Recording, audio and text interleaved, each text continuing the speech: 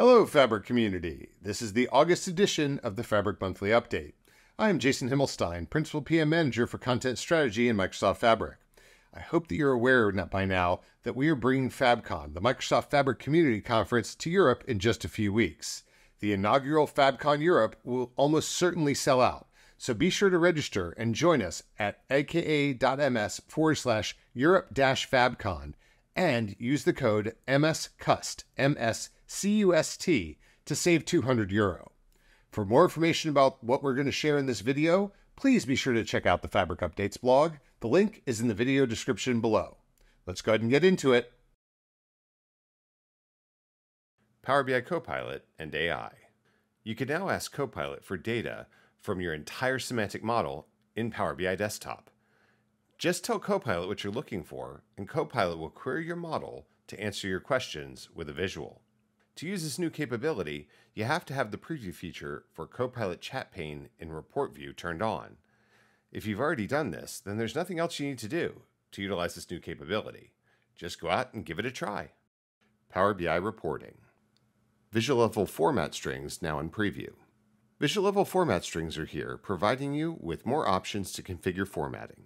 Originally built for Visual Calcs, the core ability that visual level format strings provide is the ability to format Visual Calcs. Since Visual Calcs are not in the model, you could not format them unless you were using them as a data in data labels or in specific parts of the new card and new slicer visuals. Now, with visual level format strings, you can. Visual level format strings, however, are useful even without any visual calcs. Dynamic per recipient subscriptions now generally available. Dynamic per recipient subscriptions for Power BI and paginated reports are now generally available. They are designed to simplify distribution of a personalized copy of each report to each recipient of an email subscription. You define which view of the report an individual receives by specifying which filters are applied to their version of the report. The feature is now available in Sovereign Clouds as well. Deliver subscriptions to OneDrive and SharePoint is now generally available. Do you have reports that are too large to be delivered by email or eating into your email quota in a short period of time that need to be moved to a different location? You can now deliver Power BI and paginated report subscriptions to OneDrive or SharePoint. With this capability, you can schedule and send full report attachments to OneDrive and SharePoint locations. Updated save and upload to OneDrive flow in Power BI. Beginning in the first week of August, desktop users should see a preview to turn on the updated save and upload to OneDrive experience in Power BI. To enable this, navigate to the Preview Features section of Options in Power BI Desktop. Users will then need to select Saving to OneDrive and SharePoint uploads the file in the background. With these updates, we've improved the experience of uploading new Power BI files to OneDrive and easily upload new changes in the background. Data limit. We're excited to roll out a great update that will give you more control over your visuals. We are introducing the data limit capability, your new best friend for managing performance hiccups. Have you ever had a visual that could just not handle the heat with too much data? Well, those days are over. With data limits, you set the maximum data load for a single session per visual. It's like putting your visuals on a diet, ensuring that they stay fit and perform at their best. Visuals Shapes and line enhancements. We've been fine-tuning the visual enhancement of your reports, columns, bars, ribbons, and lines, and have given you the reins to craft those Cartesians with precision. With our latest update, we are bringing the legends and tooltips up to speed. Now they will reflect the style enhancements you have applied to your visual shapes and lines, just as you intended. No more mismatched presentations, just seamless, stylish consistency. All right, time for some demos. First one is Visual Level Format Strings, now in preview, by Jeroen ter Heerdt. If you've used visual calculations, you will have noticed that there was no way of formatting these calculations. So for example, I have a visual calculation here that calculates the profit percentage by dividing uh, the profit by the sales amount. Notice how, even though it's clearly a percentage, it's shown as a decimal number. And of course, we have the format function in DAX, which I can use to format this. But this has the downside that it turns the output into text. So if I apply this even though it looks fine on the visual matrix, you'll notice that the visual no longer works because now it's not a numerical value anymore, it's a text. So let's undo this real quick. Um, there is, however, good news. We are introducing visual level format strings, which allow you to format values on a visual. We're introducing these as part of the visual calculations preview, so you will need to enable that first before you can use them. You can use these visual level format strings, however, to format not just visual calculations, but anything on your visual. So I'm going to format the visual calculation from before as a percentage. So I'm going to into the format pane, switch to the general sections, and here's a new category called data format. In here, I can now select my profit percentage visual calculation, and I'm entering the same visual, uh, the same format string as before. And now notice it is now formatted as a, as a percentage, as well as the visual still works and is showing uh, the visual as before because it's a numerical, it's a numerical value still, and it's now nicely formatted uh, in a percentage. This is great, but we don't stop there because it, as I said, it this, this doesn't just work for visual calculations. It also works for anything in the model. So it works for anything on the visual. So let's format the measure that is on this visuals, visuals here. So I have a profit measure in my model. Let me just open that up and we can see it's formatted in the model as a whole number. Okay, that's why this is now shown as a whole number on this table visual over here as well as here on this column chart. Now let's say that for this column chart specifically, I would like that to format that number as a currency, including the dollar sign, but I don't want to change the format in the model. I can do that now thanks to these visual level format strings that we've just seen. So with the visual selected, I'll go into formatting pane again, general, data format, and now let me select the profit and then say, indicate I want to format this by as a currency. So now notice that the data label as well as the tooltips in this visual have updated to reflect these new settings, but again, the table visual on the right hasn't because that is using the model level format string. So far so good, but we're not done yet because I've shown you two levels of format string. The lowest level is the model level. This of course applies to anything in the model, which means columns, measures, um, but it also means that visual calculations cannot have a format string on the model level since they are not stored in the model. So the next level up is the visual level. We just use this to change the profit measure uh, format to a currency in this specific visual. We also use that to format a visual calculation before. Now, there's another level, the third level called element level format strings. And this level controls the format for your fields, measures, visual calculations for the exact element in the visual. And a format string set on a higher level overrides any lower level format string. So a visual level format string overrides a model level format string. While an element level format string overrides both the visual as well as the model level. This level, this element level uh, format string is currently only, only available for a limited number of visuals and elements, but it will be expanded in the near future. And the most prominent place you can use this today is in the data labels. So let's set a different format string for the profit measure in the data label here on this visual without changing the model nor visual level format string. Remember, what we're expecting to see is an unchanged format in the table visual because that's using the model level format string, which is set to a whole number. We also don't want to change the format in the tooltip because we want to keep that as formatted as a currency, but we only want to change the data label. So that's where we will use the element level format string for the data label to override the format for just the data label. So to do that, let's get into the format settings again. Go to Visual, Data Labels, find Value, and then indicate I want to work with profit and then set the display units to custom. Now I can enter a custom format code in here. So I'm formatting now as a currency, but then without any decimals. As you can see, the data labels have changed. Notice that it doesn't show any amounts, any decimals anymore. However, the tooltip shows the decimals as before because that is using the visual level format string. And finally, the model level format string is set to whole number, so that's why the table here on the right hasn't updated. To get started with these visual level format strings, you first need to enable the Visual Calculations preview feature in your desktop settings. And then afterwards, you can use these three levels of format strings, model, visual, and element level, to provide you with the maximum flexibility to get the formatting exactly as you want it. Our next demo is Dynamic Per Recipient Subscriptions that is now generally available by Nirupama Srinivasan. Extremely excited to announce the general availability of dynamic per recipient subscriptions. Let's get started with a quick demo. So here I have a sales overview report to which I'm going to subscribe. So I go ahead, click on subscribe on my report, and then create a subscription, dynamic per recipient subscriptions.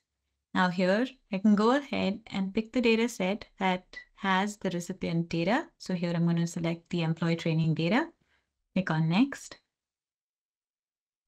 I'm going to pick uh, all of the information I need for the delivery of this subscription. So I pick the employee name. I'm going to pick their manager's name. I'm going to pick the email that we want this to be delivered to. I only want this to be delivered to employees who have completed the work that was assigned to them. And so I'm going to go ahead and pick status and I'll define the filter there. And I'm also going to pick category. I'll show you why in a minute. So first is I want to filter by status. I want to only send this to employees who have completed the task assigned to them. So I'm going to go ahead, click on completed. As you can see, I'm going to minimize the filter. You can only see those employees who have completed the training here. So I go ahead, filter the data set, go next. Uh, I'm going to email this. So I'm going to go ahead and pick subscription name to be whatever the sales overview.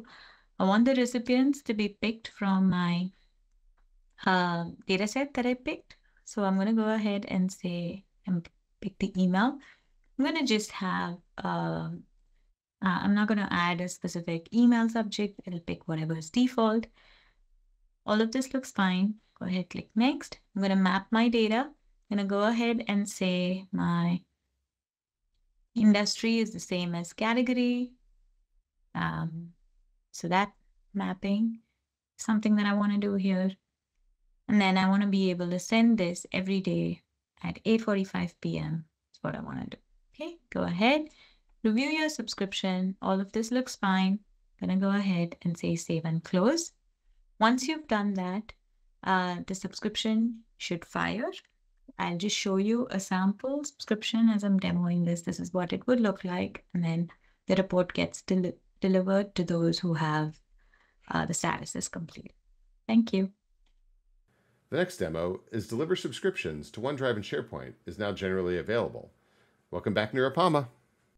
Do you have really large reports that you send on a regular basis to your email and you want to solve for the problem of extremely large inboxes, look no further than our new feature where you can now subscribe to reports and send them to your OneDrive or SharePoint locations. Let's get started and learn how to do this. So I've used a sales and marketing report for this demo. Go ahead and click on subscribe. Once you do that, create a subscription and say standard subscriptions. Over here, I've named the subscription. I've left it as the default executive overview. I'm sending it to myself. I'm going to attach it as a full report. You have to if you need to send it to a SharePoint or a OneDrive mm-hmm. location. I'm going to go ahead and click on PDF. I'm going to send it to the OneDrive location. I'm going to go ahead and pick my subscriptions folder. I have a folder called ODSP already created, and I'm going to make sure it lands in this location. Okay, this feature is now generally available um, for, for you to use. I've gone ahead and picked the schedule here as well. So start date is just today. Uh, I want this to be sent only monthly uh, and say I want to send it on the first of every month at 9 a.m. Same time zone. And then I want to also make sure I'm not getting a lot of these. So I'm just going to say 26th is the last day, right? go ahead, save this subscription. So it's called Executive Overview. It's going to my OneDrive SharePoint. You can now see that the report has been delivered. Our next demo is Updated Save and Upload to OneDrive Flow in Power BI by Anita Ambalavanan. With our new Power BI file, we're going to go and save it into OneDrive.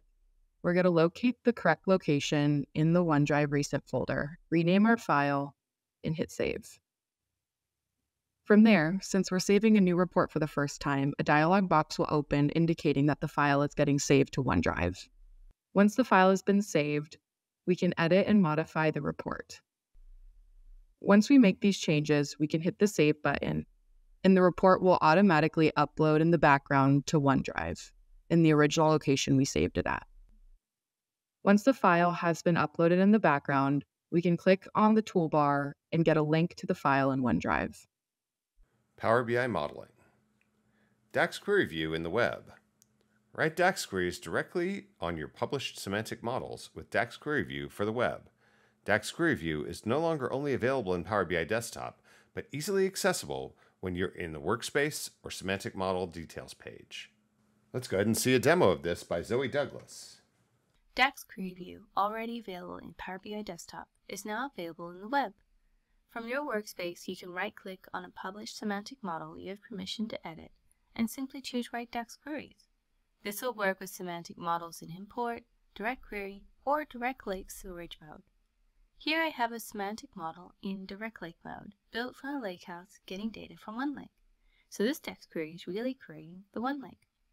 The sample query shows me the top 100 rows of my date table, and I can use other quick queries to get data from other tables and columns in my model using generated DAX queries. And I can quickly find out how many rows are in my fact table by writing the DAX query. Here I want to evaluate a scalar value, so I put my DAX formula in curly braces to return it as a table for the results grid. Using the format DAX function allows me to see the value a little nicer and I can even format the query to make it nicer to read. And here I see I have 1 billion rows in this table. In addition to typing DAX queries, you can add or change measures. Let's create a new measure to show the average cost per order. I already have a measure similar to this called average profit per order, so let's save some time and use that as a template. I use quick queries to define with references and evaluate this measure. Now I see the DAX formula for it, but also the DAX formulas used in the reference measures. This way I can see the entire calculation flow. Not only can I see them, but I can edit any of them and then rerun the query to see how the results will change. Changes to the query scope measures do not change the model measures automatically, and I can hover over the measures in the DAX query to see which DAX formula is which.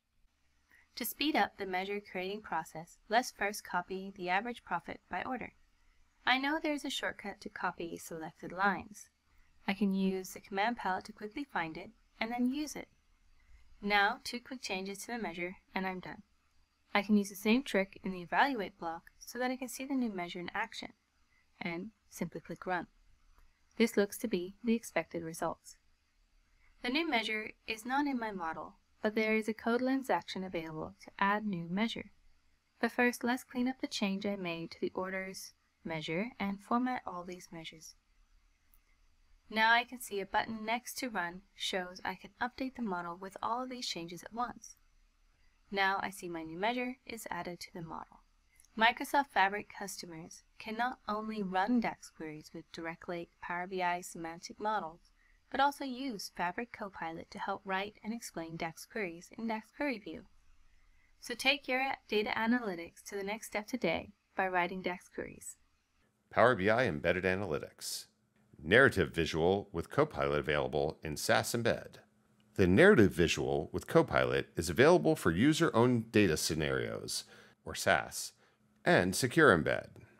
This means when a user embeds a report, the narrative visual, in a solution where users must sign in, they will now be able to refresh the visual with their data. This is the first step on our Copilot embed journey. The narrative visual with Copilot is now supported in Embed for your organization scenarios where the user owns the data and in secure embed scenarios. Now, there is a little bit of setup required for the embed your organization scenarios to work properly. So let's go over to Microsoft Azure and check it out in Entra ID. Let's go to your registered application. And once we're here, we can go down to API permissions, where we can see all of the permissions that your application already has. And we're going to add a new one that will allow Copilot to make sure that it's working properly within your application. Under APIs my organization uses, search for Power BI Service and click Delegated Permissions. Here we can search for our specific permission under ML Models. If you expand the options here, we can click this first one, ML Model, Execute All. This is the one we need to make sure that Copilot works properly in our embedded solutions. This is all we need to do for this setup here. So let's go ahead and refresh the embedded solution that I already have. It's very simple. It does not look as good as the ones that you will create, I am sure. But let's go ahead and refresh this. Um, I already have a report loaded here that has a narrative visual, and you can see that I am not getting an error here. It is loading properly. And here I'll see my narrative load, and it of course is going to work perfectly with my slicers and all of the filters that I have on the page so that my end users and myself can stay up to date with all of the data in real time right here in my embedded solution. We can't wait to hear all the ways that you use it as well. Visualizations. This month, we're highlighting a whole bunch of visualizations for you. We have editor's picks of the quarter, new visuals in AppSource, and another list of visuals for you to take a look at. Please enjoy. Fabric Core workspace filter improvements to support nested folders. Since folders were introduced in workspaces, it can be hard to find items sometimes because they're hidden away in the hierarchy. We have upgraded the filter experience to support filtering through the entire workspace or through a specific folder with all its nested folders. Fabric OneLake. OneLake Data Access Roles improvements. OneLake Data Access Roles allow for granular security to be defined within a lakehouse. This month, we've updated data access roles based on key feedback. The Assign Roles page in the user interface has been redesigned to make it easier to understand access. The page now has the Add People or Groups control front and center, with less emphasis on assigning users via item permissions. Item permissions control has been rebuilt for ease of use, including a new user count to show the number of users that will get added to the role based on the permissions you select. The members list now includes sort options and shows newly added users and groups with an icon to help validate pending changes. Let's go ahead and take a look at a demo of these new OneLake data access role improvements by Aaron Merrill. Introducing the newly refreshed Assign Roles pane for OneLake data access roles. To get started, navigate to the Manage OneLake data access page from your Lakehouse. Select an existing role and click Assign. You can add users or groups to the role by typing the names directly in the Add People or Groups box. Dynamically add users to the role based on their Lakehouse permissions using the Add Users based on Lakehouse permissions dropdown. You can now see a count of how many users will be added based on your selections. Lastly, you can easily view and search for role members and remove them using the Assigned Users list at the bottom. Fabric Synapse Data Warehouse managing V-Order behavior of Fabric warehouses. V-Order is a write-time optimization for the Parquet file format, enabling Direct Lake mode with Power BI. It applies special sorting and compression to Parquet files, offering query benefits but potentially increasing data ingestion time in Fabric Warehouse. We're excited to announce a new feature in Fabric Warehouse that allows you to manage vOrder behavior at the warehouse level. You can now disable vOrder providing better control over the ETL performance when vOrder is unnecessary. This enhancement is particularly beneficial for scenarios where vOrder optimization may not offer significant advantages, such as in a typical ETL process with write-intensive staging tables. Delta Lake log pause and resume. Fabric Warehouse publishes Delta Lake logs for every table created in your warehouses. Any modification to a warehouse table will be reflected in the Delta Lake log within a minute of transactions being committed. This enables other analytical engines in Microsoft Fabric to read the latest data on user tables without any data duplication. This feature allows you to pause and resume publishing of Delta Lake logs for warehouses. When publishing is paused, Microsoft Fabric engines that read tables outside of the warehouse will see the data as it was before the pause. This ensures that reports remain stable and consistent, reflecting data from all tables as they existed before any changes were made to the tables. It is especially beneficial if you have many tables and reports that are frequently changing. It will minimize the risk of data inconsistencies. Alter table add nullable column. Alter table add nullable columns is now generally available. This feature allows for adding new nullable columns to previously created Delta Parquet backed tables in a warehouse in Microsoft Fabric. In the ever evolving data landscape of data organizations, schemas are shifting and changing to keep up to date with the influx of new data. Whether your schema modifications are few and far between, or a regular occurrence that constantly needs to adapt to changing requirements, we have you covered. Our goal is to ensure that customers have everything they need for a seamless warehouse experience, and we continue to strive towards ensuring our T-SQL surface area meets the needs of our customers. Truncate Table Truncate Table in Fabric Data Warehouse enhancing data management capabilities for the user is now generally available. Truncate removes all rows from any warehouse user table that the user has permission to update, while preserving the table's metadata. This command is beneficial for situations that demand quick data removal and table maintenance. It is ideal for scenarios where staging tables need regular data clearing without altering the table structure. Truncate operation is only allowed on Parquet backed data warehouse user tables. Mirroring Azure SQL Database. We've heard your requests, and we're excited to extend our capabilities with support for mirrored tables with additional SQL's Dynamic Definition Language, DDL. Now, operations such as drop table, rename table, and rename column can be seamlessly executed while tables are in the process of mirroring. Mirroring integration with modern Get Data experience. You can use a more intuitive experience with modern Get Data to connect data source for mirroring. On the homepage of Data Warehouse Experience, click any mirroring module to get started. Enough of all this talking. Let's go ahead and take a look at a couple of demos. We're going to get started with managing V-order behavior of Fabric warehouses. We are excited to announce the capability to manage the V-order behavior of Fabric warehouses.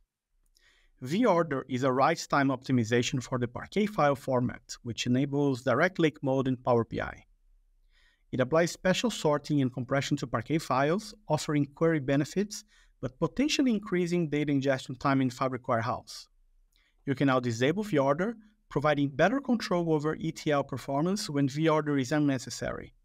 This enhancement is particularly beneficial for scenarios where VOrder optimization may not offer significant advantages, uh, such as in typical ETL processes where you have write-intensive staging tables. Disabling vOrder order on a warehouse is a non-reversible operation. You should thoroughly test the performance of your warehouse queries and ETL processes to determine if this option is suitable for your scenario before disabling it. There is no way to re-enable V-Order, so please make sure you test this thoroughly in your scenarios to see if you, if you benefit from this. Now, in the demo, what we'll do here is we'll check sys.databases to see the current status of V-Order on my warehouse.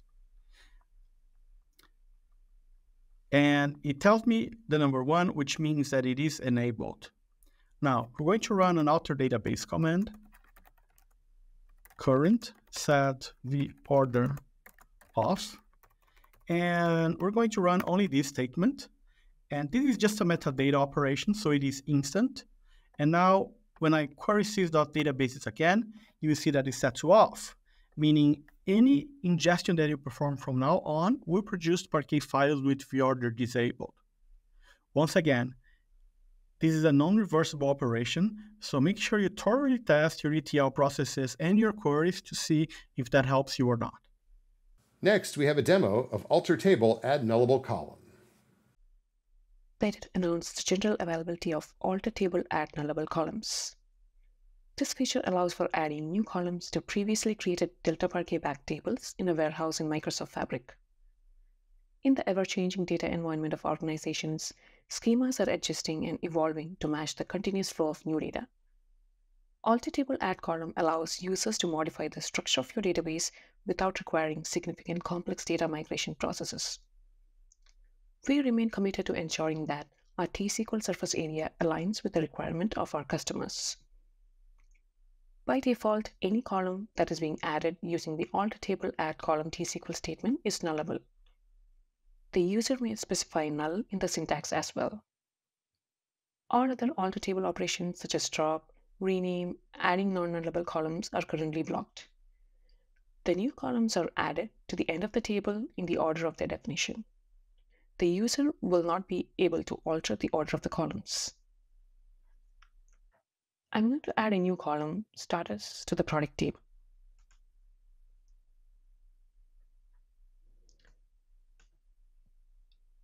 I'm now going to select the table to see the new column. As you can see, the value for the new column is null, since the column is added to an already populated table. Once shortcut to the lakehouse are established, the new column will be readable from both SQL Analytics Endpoint and Spark notebooks. We will very soon add support for additional alter table capabilities such as drop and rename. Stay tuned. The next demo we have is Truncate Table. Truncate Table is generally available in Fabric Data Warehouse, enhancing data management capabilities for the users. Truncate removes all rows from any warehouse user table that the user has permission to update while maintaining table metadata. This is useful in scenarios where rapid data deletion and table maintenance are critical. Truncate is useful in scenarios where staging table requires frequent data purging without altering table structure. In Fabric Data Warehouse, we retain data files after truncating to support time travel queries. Garbage collection will then eventually clean up the data file as per the configured data retention policies. We inherit the same syntax from SQL Server. Let's verify that the row exists in the customer table. Now let's truncate the table. And let's verify that the table is now empty. Truncate operation is only allowed on a Parquet backed data warehouse user table. There are a few limitations such as truncating a specific table partition is not allowed in Fabric Data Warehouse. Truncation of a lakehouse table, views, table reference by materialized views, system tables, system DMVs are also not allowed. And the last demo that we have for this area is mirroring Azure SQL Database. So here I am in uh, Fabric uh, mirroring, actively uh, replicating the uh, AdventureWorks sample database. And uh, you could see uh, there are a product and sales tables which are being replicated. let's go ahead and perform uh, some rename column and rename table element operations for one of the tables here called product logs. So it has five rows which are currently there in the product log. So let's go and do some changes to the DDLs. So let's go ahead first change the uh, name from, let's say it's called log DESCR to be more meaningful. So let's call it product log description. Let's go and execute this and I'll go refresh here and you can see it's changed here. The table is still being actively replicated. Let's go back in Fabric and look at the change. Now Fabric SQL Analytics endpoint for the mirror database. And you can see that the rename which we did to product log description is now accurately reflected. Now let's go ahead and change the name of the table from instead of product logs to something more meaningful. So in this case, we'll rename from product logs to call it product logger. Let's go and execute that. It's reflected the name here in the database as product logger. Let's go back in Fabric and see the change. As you can see, the name has now been changed to product logger from product logs. Now let's go ahead and drop the table uh, completely from being mirroring into Fabric.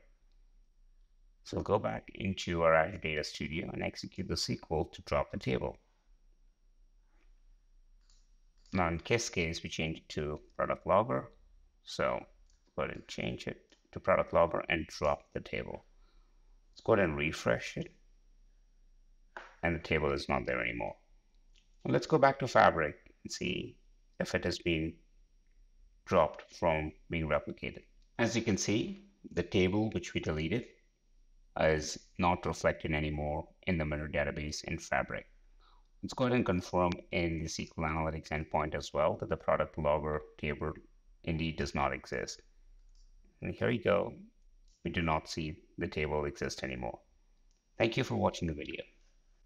Fabric Synapse Data Engineering announcing MS Spark upgrade to Notebook Utils. Beginning in August, the library MS Spark Utils will be rebranded Notebook Utils. This change reflects our commitment to providing the best tools and utilities for your data processing needs. While Notebook Utils will be backwards compatible with MS Spark Utils, we want to inform you that new features will only be added to Notebook Utils namespace. Therefore, we strongly recommend that you start replacing the old namespace with a new one for your projects, and the Notebook Utils will only be supported on runtime versions 1.2 and above. Please note to upgrade your runtime versions as well. Import Notebook UX improvements. The Import Notebook feature has recently been enhanced, making it more accessible and more intuitive. With this update, you can effortlessly import notebooks, reports, or paginated reports using the unified entry in the Workspace toolbar. This improvement streamlines the process, ensuring a seamless experience for developers. Fabric Runtime Lifecycle. We recently released the lifecycle of Apache Spark runtimes in Fabric. Our team diligently delivers new versions, ensuring that they are of high quality, well integrated, and supported continuously. Each version includes about 110 components, and as the runtime grows, we make sure it integrates smoothly into Microsoft Fabric and Azure. We cautiously approach new preview runtime releases, aiming for an experimental preview in roughly three months, although the exact timeline varies per case. The latest runtime, version 1.3, based on Apache Spark 3.5, is currently in public preview, and we're preparing it for general availability. Runtime 1.2, based on Apache Spark 3.4, is already stable in GA. We've announced the end of support date for Runtime 1.1 on Apache Spark 3.3, which will be deprecated and not available after March 31st, 2025. Fabric Synapse Data Science. Semantic Link Labs is now live. Recently, Michael Kovalsky of the Microsoft Fabric CAT team released a Python library called Fabric CAT Tools for Fabric notebooks.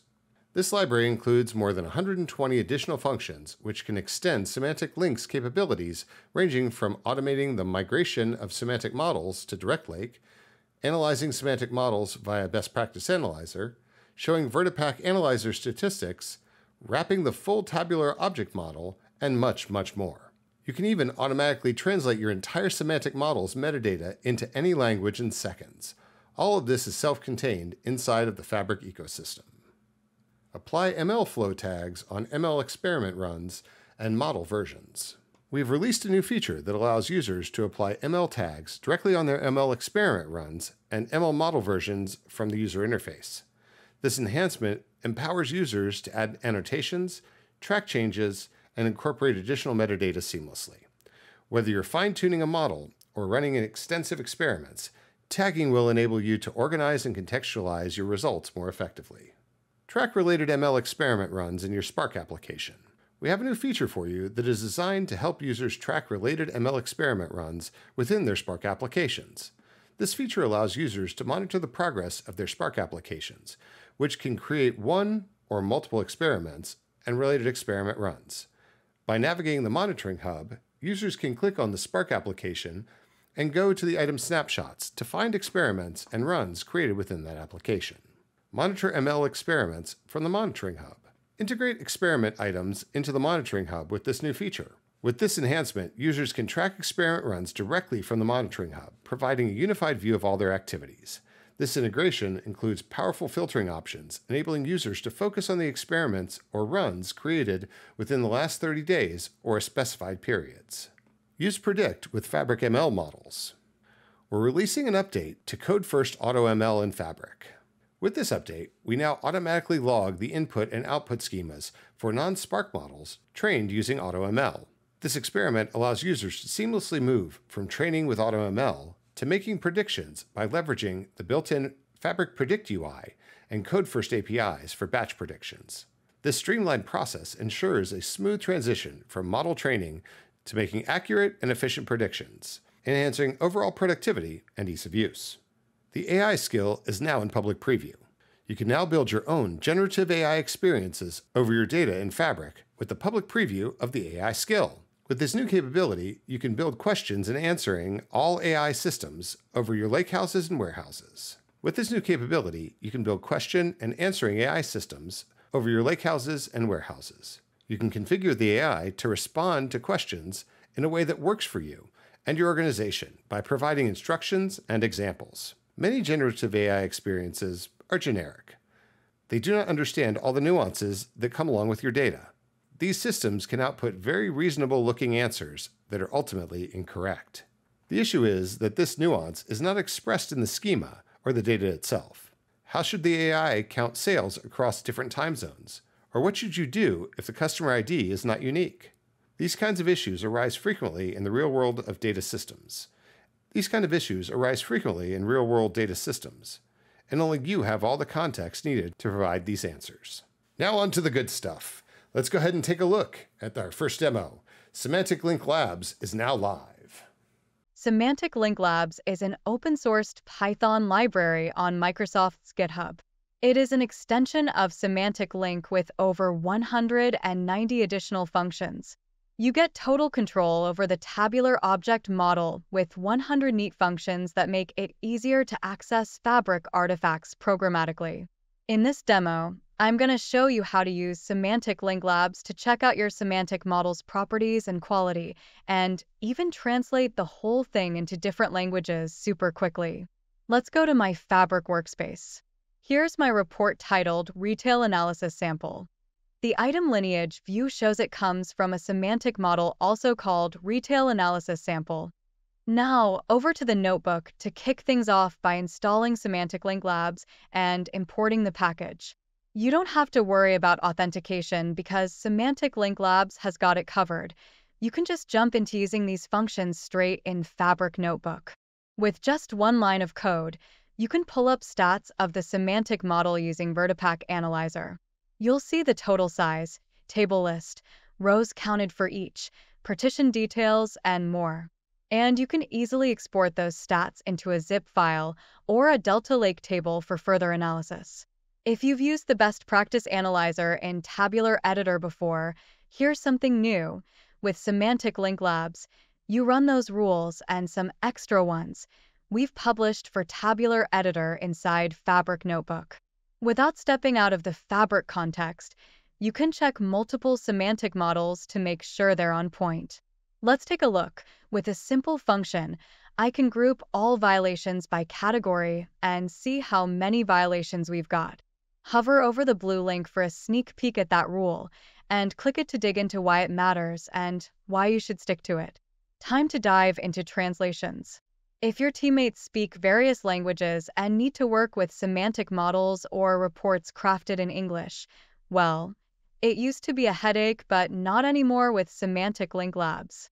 Just point out the semantic model's name and set your languages. Let's go with Italian and Chinese for now. In a few seconds, the whole model is translated.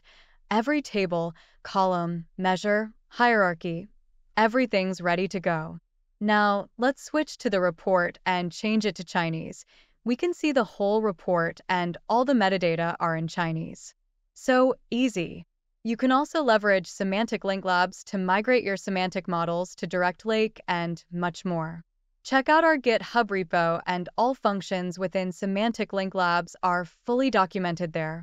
We warmly welcome your contributions to our GitHub repository as well.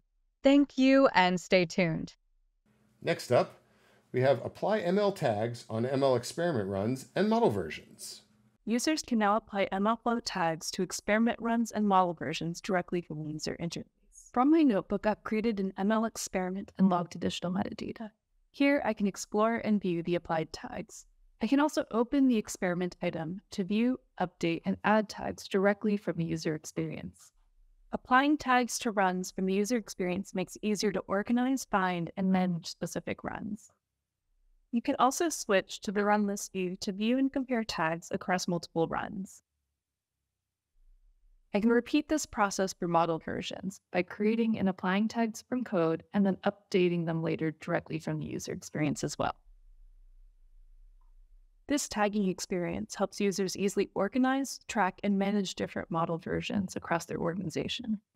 The next demo we have is track related ML experiment runs in your Spark application. Users can now track related ML experiment runs within their Spark applications. This feature allows users to monitor the progress of their Spark applications, which can create one or multiple experiments and related experiment runs. I'll first filter my monitoring hub to look at Spark applications that were created by me. By clicking on a Spark application and navigating to the item snapshots, I can locate experiments and runs that were created within that Spark application. This feature makes it easier to debug Spark applications especially when they impact specific machine learning workflows. And last but certainly not least, we have a demo of AI Skill. Let's take a look at how you can bring custom generative AI to your data in Fabric. Let's create a new Fabric item called an AI skill, and let's see what it does. I'm going to name it Loyalty Member Support Insights, because what I want to create is a custom generative AI tool that is an expert that can answer questions about loyalty members and customer support cases. The first thing I'm going to do is to add my data from OneLake. I can just select the lakehouse and now I can select the specific tables that I want the AI to have access to, and that's it. Let's ask how many support calls we've had from loyalty members, but break it down from the source that the loyalty member joined from. And now behind the scenes, we use our AI models to generate a SQL query and give an answer. Here, we let you put generative AI directly on your data and then integrate it into your own custom solutions. And the skill is really just focused on what it knows, which in this case is Contoso Outdoors loyalty members' data and support cases. Let's ask another question. Who is the most recent loyalty member to make a support call? And the answer is Angelina Schlitz. This is a good answer, but I'd like to include some supporting info. And this is where I can add some notes for the model on how I want it to behave. I'm going to tell it to include some additional columns when responding about loyalty members. And now let's rerun the question.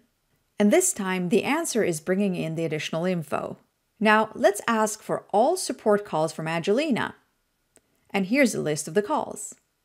Now let's break down all our cases by where they came from. And here's the breakdown. Now let's do one more question. Let's ask for our top 10 loyalty members, and this time we actually got a wrong answer. It just listed the members because it didn't know how to rank them. So if I quickly look at the data in the table that I have, I can see I have a column for lifetime spending. Let's give the model another note to use this column when asking about top ranking members. And now we can get the correct answer. So finally, once I'm happy with the result, I can go ahead and publish this. This experience can give me an endpoint that I can use to send questions to. But this is really an ideal fit for integrating this capability into other RAG based AI orchestration options to give them access to experts on your data in Fabric. And stay tuned for other ways to integrate and use Fabric AI skills. For example, for building custom copilots in Microsoft Copilot Studio, or to extend Microsoft M365 Copilot. And hopefully, this is giving you an idea of how you can bring custom generative AI to your data in Microsoft Fabric. Fabric Real-Time Intelligence. Fabric Real-Time Hub Teaching Bubble. The Fabric Real-Time Hub now introduces teaching bubbles that provide a step-by-step guide through its major functionalities. These interactive guides allow you to seamlessly navigate each tab of the Real-Time Hub, offering a clear understanding of the value and core functions. By following these teaching bubbles, you can effectively kick off the Get Events flow, ensuring a best-in-class streaming data ingestion experience. This feature is designed to enhance your learning curve and maximize the capabilities of the real-time hub. Fabric Data Factory Fabric Data Pipelines We're excited to announce the release of two powerful new connectors in Fabric Data Factory data pipelines, Salesforce Connector and Vertica Connector. The Salesforce connector using Bulk API 2.0 in Fabric Data Factory offers a high performance solution for integrating Salesforce data with Microsoft Fabric. Bulk API 2.0 is designed to handle large volumes of data efficiently by processing batch records asynchronously, making it ideal for large scale data migrations and synchronizations. This connector enables users to seamlessly extract, transform, and load extensive datasets from Salesforce into various destinations or vice versa. By utilizing this connector, organizations can accelerate data operations, streamline workflows, and leverage the full potential of their Salesforce data alongside other data sources, ensuring robust, scalable data integration and analytics. The Vertica connector offers unparalleled ease of connection to Vertica, a high performance, distributed SQL database designed for big data analytics through on premises data gateways. By leveraging the Vertica connector, organizations can harness the robust analytical capabilities of Vertica alongside the scalability and flexibility of Fabric Data Factory thereby enhancing their data workflow and accelerating insights across their enterprise data ecosystem. Data Warehouse Connector supports TLS 1.3. The introduction of TLS 1.3, the introduction of TLS 1.3 support in the Warehouse Connector marks a significant improvement in data security for data integration processes. TLS 1.3, the latest version of the Transport Layer Security Protocol, provides improved encryption, reduced latency, and enhanced privacy over previous versions. By supporting TLS 1.3, the Data Warehouse Connector ensures that data transmitted between the data warehouse and other systems is protected with state of the art encryption, mitigating the risk of cyber threats and data breaches. This update not only strengthens the security posture of data operations, but also optimizes performance, enabling faster and more secure data transfers. Organizations can now confidently leverage the Data Warehouse Connector and Data Pipeline to integrate and analyze their data, knowing that their information is safeguarded with the most advanced security protocols available. Easily connect to your Azure resources by modern Get Data Experience and Data Pipeline. You can easily browse and connect your Azure resources automatically with modern data experience of Data Pipeline. With the Browse Azure experience, you can quickly connect to Azure resources without manually filling in some information, such as endpoint, URL, etc. Currently, we have supported connecting Azure Blob, Azure Data Lake Gen 2, Azure Cosmos DB, and Synapse through Browse Azure Experiences. To browse the Azure resources, you need at least a reader access role on the data source. To be able to connect to the resource with OAuth, you need at least Storage Blob Data Reader role on the data source. Well, that's all for this month. Please visit our Fabric community forums at aka.ms forward slash fabric community. It's the best place for you to connect with others and get answers to your questions. Next month's edition of the video will drop to align with our announcements at FabCon Europe. We look forward to sharing more with you in the next month and hope to see you in person in Stockholm. And please, tell us how we can do better. We are listening. Thanks for watching, and be sure to comment, like, and subscribe. Have a great month!